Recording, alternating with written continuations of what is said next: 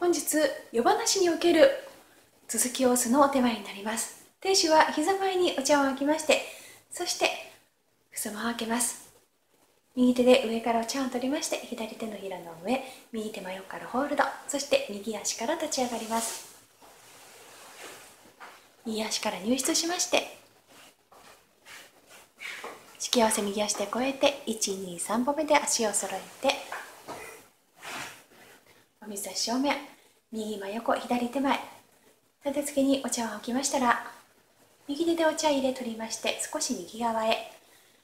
お茶碗左手前体の中央で右真横左真横その左真横でお茶入れと置き合わせをします。背筋を伸ばして左足から立ち上がり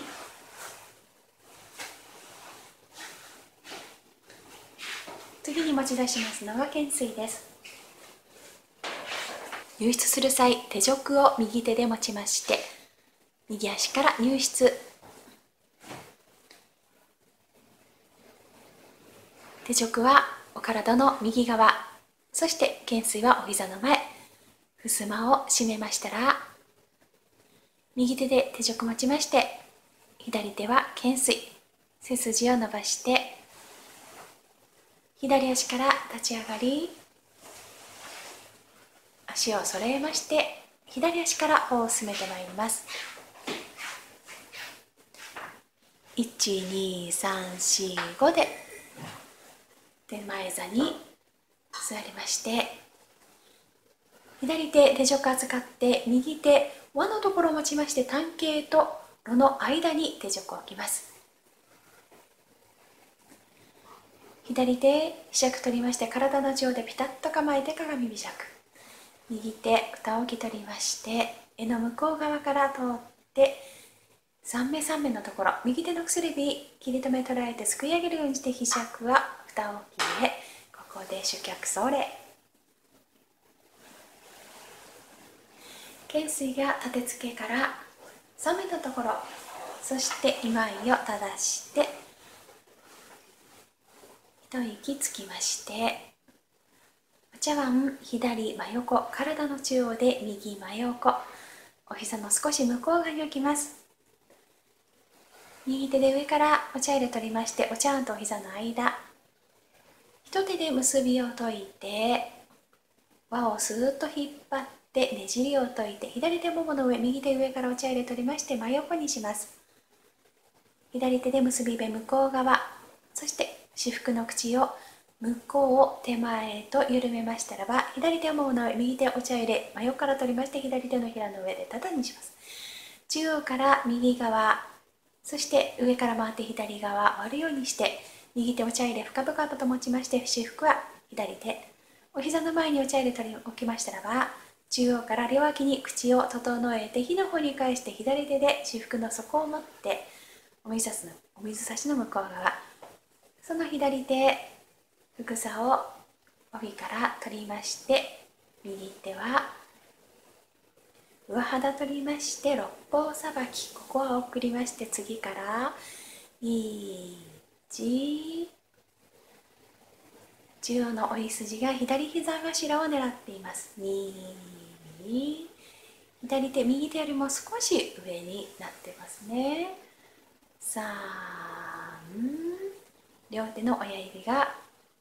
ふくさの上線と平行上から3センチ下のところを持っています。C ここで中央を落として胸の前に戻してそしてそうにさばいてまいりましょう。右手の人差し指スーッと一文字描きまして左手上からついてその左手お茶入れを横から取りまして胸の前向こう手前と蓋を2き胴に当ててそして胴を3回。回しながら吹き清めていきます。押しながら回しておりますのでお茶入れは半時計回り回っております。この時右手の親指人差し指をしっかりと沿わせておきます。お茶入れの口の高さは帯の上線の高さ。3回回りましたら親指手前に行きまして絞り込むようにして右ももに浮かしておいて服さは左手のひらを打ち返しもう一度さばき直します。右手の人差し指スーッと一文字描きまして左手のひらの上右手を茶杓取りましてくるりと上を向けてそのふくさの字をふくさパタンと2つ折り表面拭いて両脇拭いて両脇拭いて表面拭いて吹き切りましたらふくさは左ももの上浮かしておいて右手お茶杓はお茶入れの蓋日和の方に置きます。右手お茶筅に手を伸ばしお茶入れのお隣へ。左手に持っているふくさ右手で一旦広げまして左手上からついて右手でおみそ汁の塗り蓋2引きします。その房を左手に持たせて右手お茶碗横から捉えて手前に引きまして右手お茶巾取りまして先ほど極めた塗り蓋の上。手に手に持ってる副菜一旦右手で扱って左手人差し指と中指の間に置きます。取りまして右手はひしゃく上から捉えて体の上でピタッと構えてそれで右手はふさを取りまして鎌の蓋の上垂直に5センチほど上げてスライドして強切りもう一度水平に戻しましたら蓋置きの上にふくさは右膝頭に仮置き右手の薬指スーッと一文字描くようにしてひしゃく横にしまして絵を取りましたらぐーっとひしゃくは釜の中に沈めて真ん中のおいしいお湯を汲んであげましょう。お茶碗の4字の線から入りまして中央めがけてお湯を注ぎ込みましたらばくるりと上向けてもう一度ピタッと構えてふさ拾ってそのふさで釜の蓋を取りまして今度はピタッと閉めます。ふさは右膝頭に仮置き右手の薬指ひしゃくの切り止めをすくい上げるようにしてそしてひしゃくは蓋置きに右手お茶筅取りまして茶筅通し左手親指が上一回上げて下に行った時にくるりと回してコツン親指上にしてもう一度上げまして下に行った時くるりと回してコツン親指上にしましてサラサラサラサラサラサラ。最後にのの字中央から水広がりに引き抜きましてお茶筅は元の位置。右手でお茶碗真横から取りまして体の中央で左手取り直しその左手で懸垂にお湯をあけます。体の中央に戻るのと同時に右手を茶巾取りましてお茶碗の6つの線からお茶巾を中に入れまして副台守って左手の向こう側そして左膝頭あたりで3回半回しながらお茶碗の縁を清めていきます。最後の半で水平に戻し茶巾垂直に引き上げてお茶碗の中手前に3分の1折りましていりと清めて右手でお茶碗を真横から取りましてお膝の前。右手でお茶巾取りましたらおみそ汁の塗り蓋の上。その右手今度はお茶杓取りまして右ももの上浮かしておいて左手お茶入れ同横から取りましてお茶碗の左横に浮かしておきます。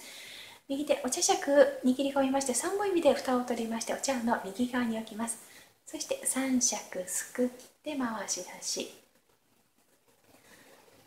お茶をお茶杓で3尺すくいましたらお茶杓は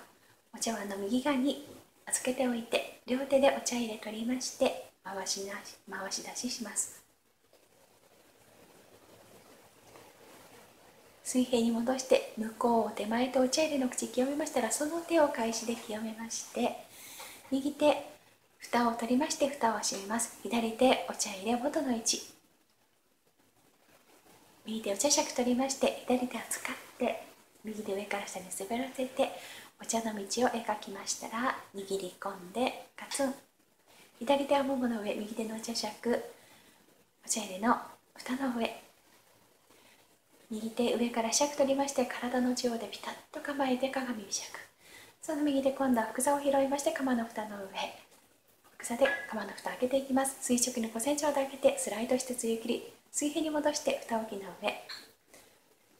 福座はひしゃく根の向こう側を通って左膝頭から出ない位置。右手薬指切り止め捉えてスーッと真横にしまして。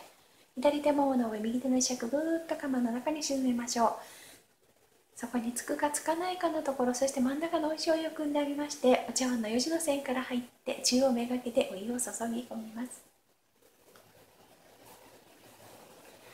残りの湯は釜の中央。注ぎ戻されましたらひしゃくは釜の口に預けておいて右手お茶筅取りまして左手お茶碗横から添えましてトントントントンとお湯とお茶をしっかりとなじませてから練っていきますね。寝る時になりましたら左手親指が上です。そして「いり」「いり」とひらがなを描きながらしっかりと練っていきます。ある程度寝られましたらお茶筅はお茶碗の左側に預けておいて右手ひしゃく取りましてそのひしゃくでぐーっと釜の中真ん中のお塩を汲んであげましょう。そして穂先を湿らせる程度にもう一度お湯を注ぎます。この時左手の親指お茶筅の上線と平行です。残りの湯は釜の中そのままストーンとひしゃくは釜の口に預けられてもう一度練っていきましょう。いりいり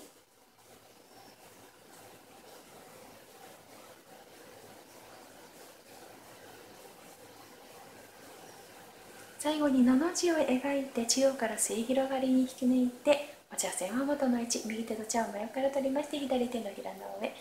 2回回して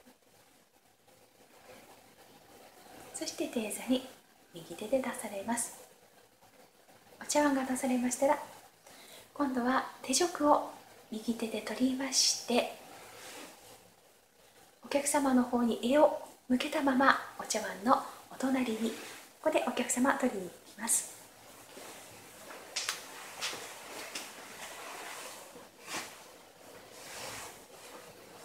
お茶碗から引きます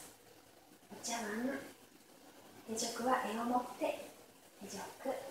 ご自身が下がってお茶碗手食ご自身が下がってお茶碗へりギリギリ定食は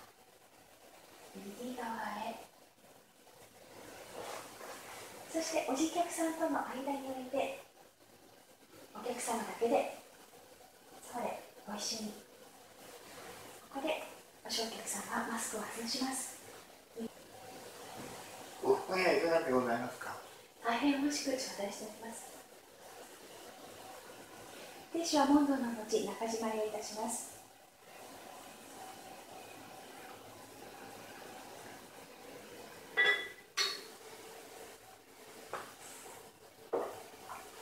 は斜めに懸垂に畳まれまして右手蓋を取りまして左手側面トライト懸垂のお隣へそして客正面に回りましておじ客さんが一口飲み物を待ちます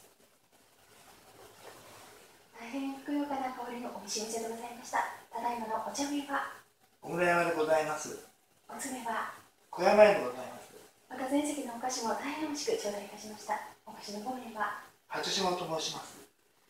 ご姓は一世です。ありがとうございました。お客さん吸い切りました。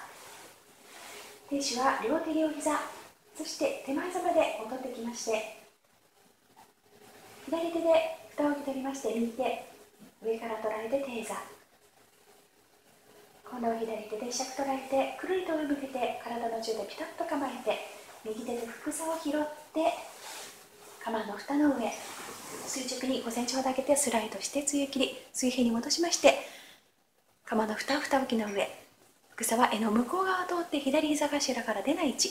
右手の薬指第一関節へ切り止めトライですっと真横にしまして左手ももの上右手でひしゃく釜の口に預けます。右手でお茶巾取りまして釜の蓋の上手なりに置きまして右手でおみさしの蓋取りまして体の中央で左手十字の位置その左手の十字でおみさしの胴の横から立てかけます。右手ひしゃく取りまして体の中央でくるりと上向けて左手節切り切り右手上から下に滑らせて左手はももの上右手のひしゃくおみさしの中に。真ん中の水を90%組んであげましたら釜の6時の線から入りまして中央めがけてお水を注ぎ込みます。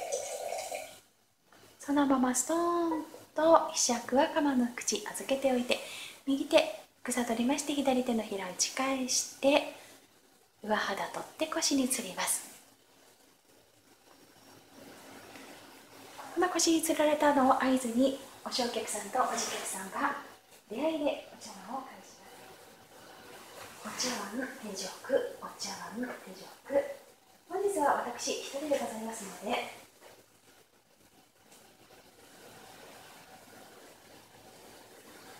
右手で取って左手扱って右手輪を取って天使の方に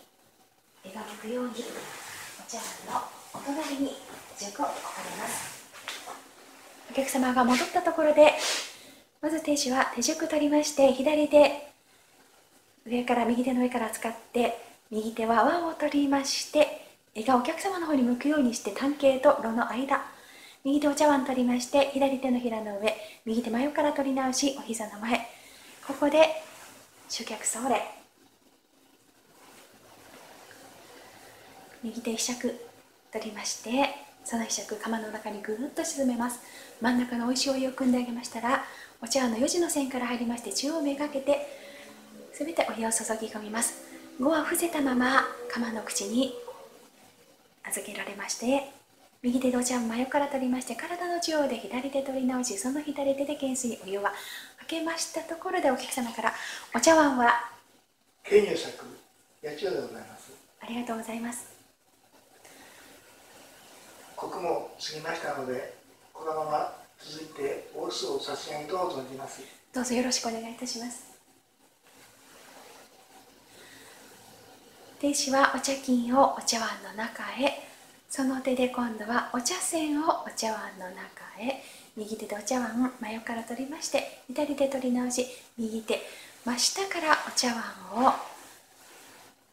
抱えるように持ちます。お水差し正面まで体の向き変えましたらここで懸垂取りまして背筋を伸ばして左足から立ち上がり。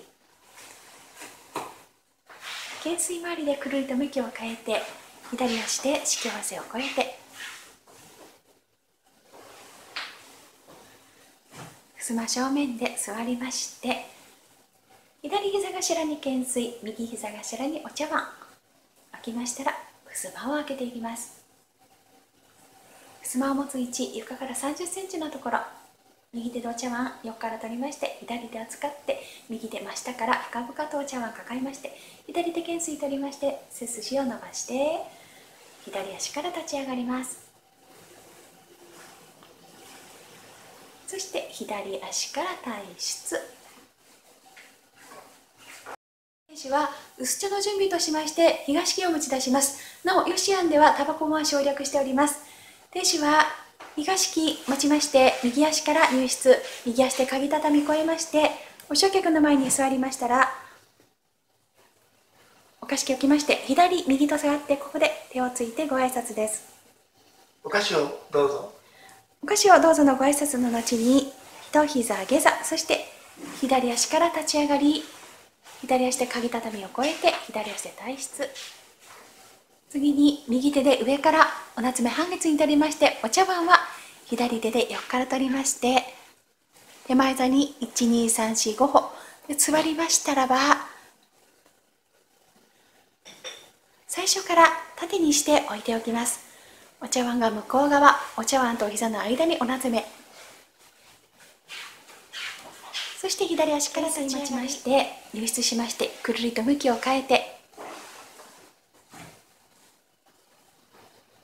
膝前懸垂を置きましたらスマホをつ位置床から3 0センチ体の中央で手を変えてスマぴったりと締めましたところで左手懸垂取りまして背筋伸ばして左足から立ち上がり足を揃えましたら左足から歩を進めてまいります。引き合わせを変えて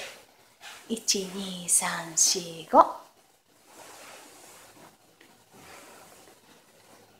懸垂は最初から定座に置いておきます。2枚を正して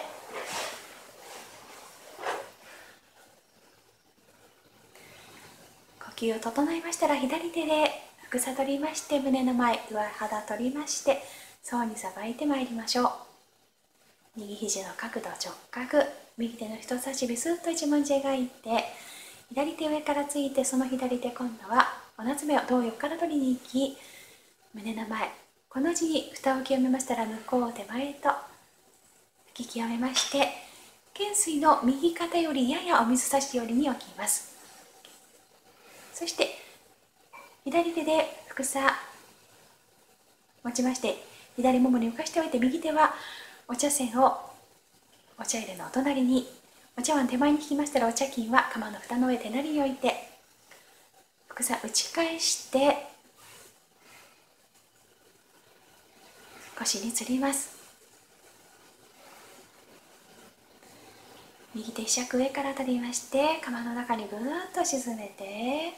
真ん中のお石をよくなりましょう。お茶碗の4時の線から入って中央めがけてお湯を注ぎ込みます。5は伏せたまま4時の線から出まして釜の口にひしゃく預けましょう。右手お茶筅取りまして茶筅通しです。本。サラサラサラサラサラ。のの字中央からすり広がに引き抜いてお茶筅を元の位置。右手の茶碗真上から取りまして体の中央で左手取り直しその左手で懸垂にお湯をあけます。右手お茶巾取りましてお茶碗の6時の線から入ってくだめの持って向こう側。左膝頭あたりで3回半回しながらお茶碗の内清めていきます。垂直に引き上げましてお茶碗の中に3分の1手前に折りましていいリード切れましてお茶碗膝前に右手でお茶巾取りまして釜の蓋の上右手お茶杓取りましたら右ももに浮かしておいて左手手をついてお菓子をどうぞ。お菓子をどうぞのご挨拶。ここでおじ客さんからお菓子を召し上がっていきます。左手を夏目取りまして右手お茶杓握り込んだまま3本指で蓋を開けまして蓋は右膝頭。そしてお茶杓でお茶を2尺すくって握り込んでかつ3本指で蓋を取りましたらお茶碗のひり回避して蓋を閉めまして右手は右ももで浮かしておいて左手お夏目元の位置。右手のお茶杓お茶入れの蓋の上日和の方。その右手今度は尺取りましてぐーっと釜の中に尺沈めて真ん中のお塩をよくなりましたらお茶の吉の線から入ってお湯を注ぎましょう。中央めがけてお湯を注ぎますといい音が鳴りますよ。お湯はもう一度釜の中に戻されます。この時もやはり釜の中央めがけてお湯を注ぎ込みます。ストーンと磁石は釜の口に預けておいて右手お茶筅取りましてサラサラサラサラサラお茶を立ててまいります。最初にお茶を召し上がるのはおじ客さんになります。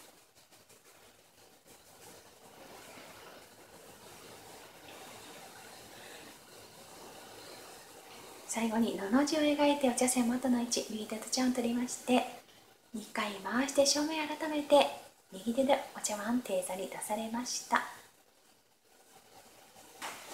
お茶を取りに行きます。手前に引いてご自身が下がって手前に引いてご自身が下がって。ご乗客さんでございますのでご自席に戻られてから入り口でおじおじ客さんに渡されます。おじ客さんの一口でお正客さんから亭主に声がかかります。お正客さん手をついてどうぞお茶入れお私服の拝見を。そうしましたら亭主はお茶杓右手で取りましてお水差しの右側に右手でお茶入れ膝前に置きましたら今度は左手でお夏目取りまして先ほどお茶入れがあった位置。右手でお茶杓お水差しの縁から取りましてお夏目の上。右手を茶入れ取りまして左手のひらの上。右手は右膝捉えまして客正面に参りましてお膝の前にお茶入れ置きましたらここで服さを取ります。そしてお茶入れを清めていきます。そうにさばいて右肘の角度直角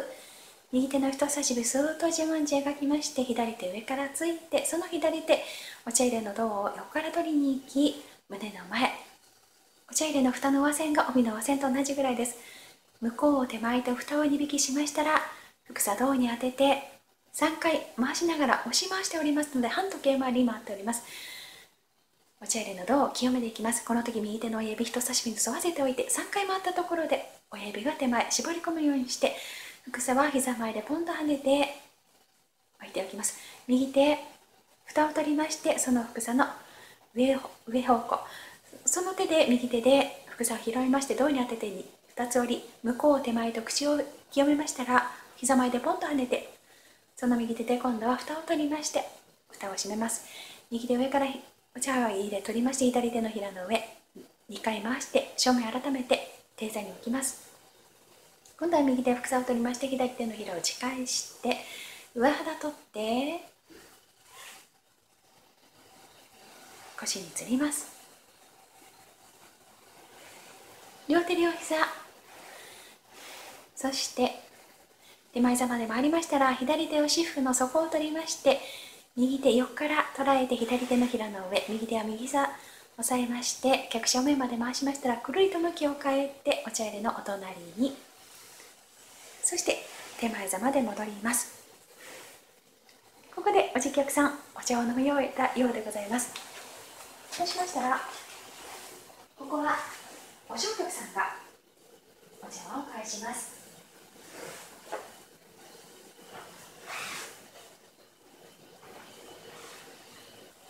お正客さんお茶碗を下座に置いてお茶入れと私服を取りましたらお茶碗を右手で取りまして左手のひらの上2回回してそして下座に置きますお道具膝前に置き直してご自身の席までお道具を置いていきます。ひく上から取りまして釜の中にぐーっと沈めてお茶の4時の線から入ってお湯を注ぎ込みます。ひく5を伏せたまま4時の線から出まして釜の中にそして釜の口に預けられます。お茶を真横から取りまして体の中で左手取り直しその左手で懸垂にお湯が開けられます。右手でお茶巾取りましてお茶の6時の線から入って福台目持って左手と向こう側。そして左体の左側で3回半回しながらお茶碗の縁清めていきます。最後の半で垂直にお茶巾引き上げてお茶碗の中手前3分の1折りましていりと清めてお茶碗真横から取りましてお膝の前。右手お茶巾取りまして釜の蓋の上。右手お茶杓取りましたらももの上浮かしておいて左手手をついてお菓子をどうぞ。お菓子をどうぞのご挨拶。このご挨拶で今度はお正客さんがお菓子を召し上がります。左手おなつめを取りましてお茶碗の左側を沸かしておいて右手3枚目で蓋を取りまして右膝頭に置きましてその右手で今度はお茶杓でお茶をすくっていきます。2度すくいまして握り込んでかつ3本指で蓋を取りましたらお茶碗を回避して蓋閉めて右もものにお茶杓浮かしておいて左手おなつめ元の位置右手お茶杓がおなつめの蓋の上。そして右手でひしゃく取りましてぐーっと釜の中にそこにつくかつかないかのところ真ん中のお塩をよくんでありましてお茶の湯の線から入りまして中央めがけてお湯を注ぎ込みます。残りのお湯は釜の中やはり中央めがけてお湯を注ぎ込みますといい音が鳴りますよ。そのままストーンとひしは釜の口に預けておいて右手お茶しゃくお茶筅取りましてそしてサラサラサラサラサラ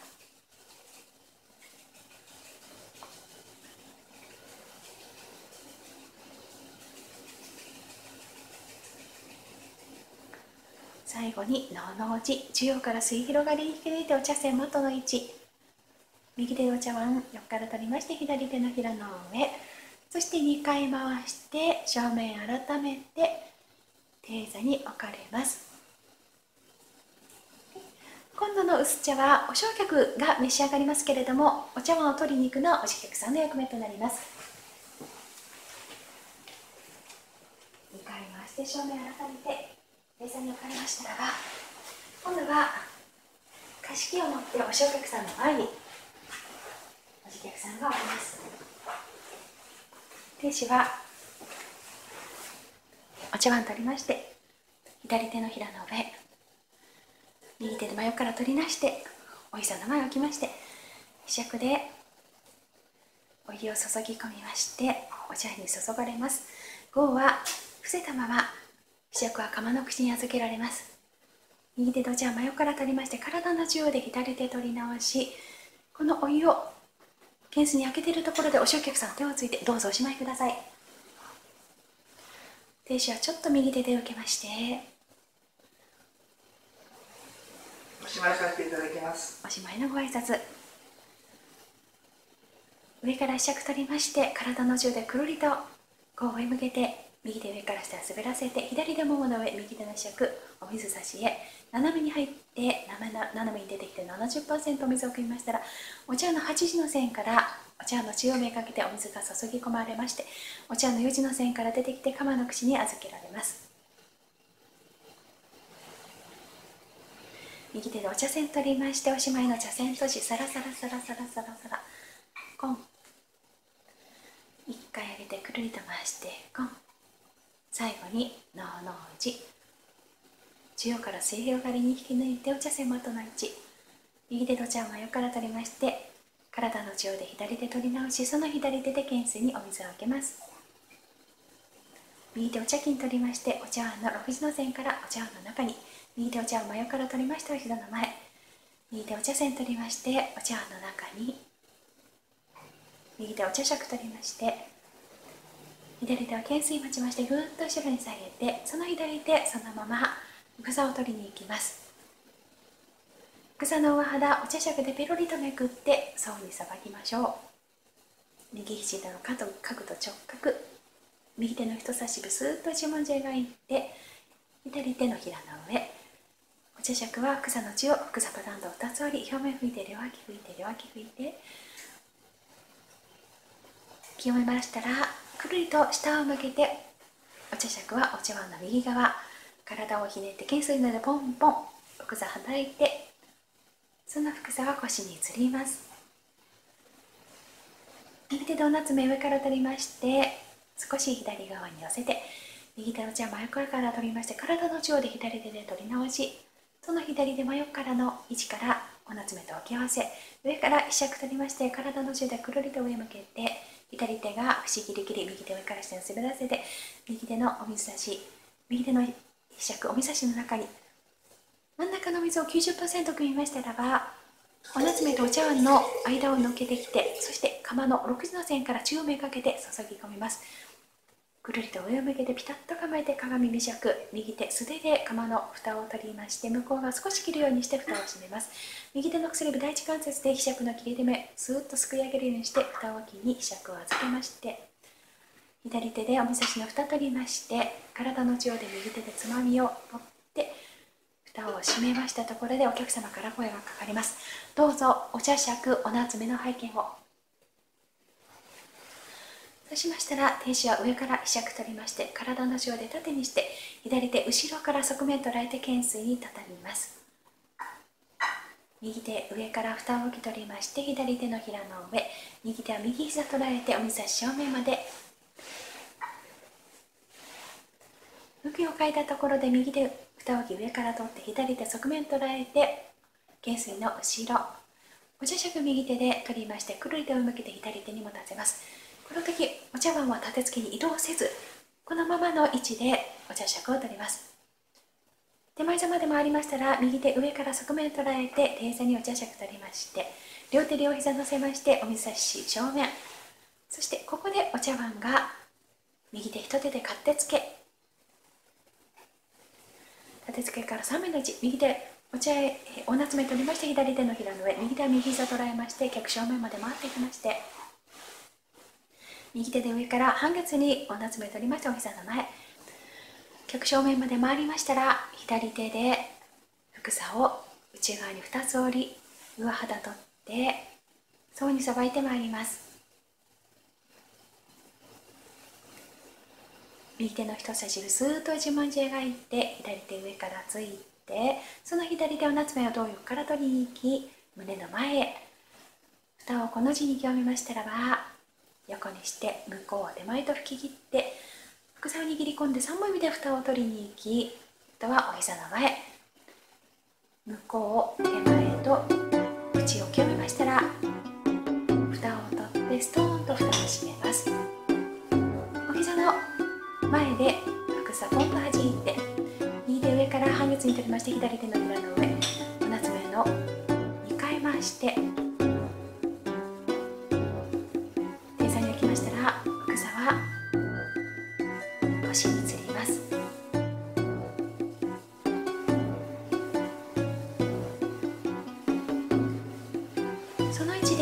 右手で手褥輪を取りましてお客様の方に絵を向けたままお道具のお隣に置きます。両手両膝捉えてお水差し正面。